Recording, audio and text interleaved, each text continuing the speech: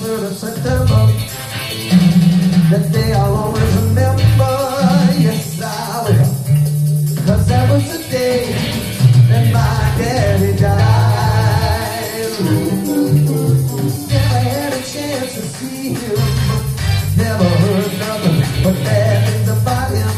Mama, I've been on you to tell me the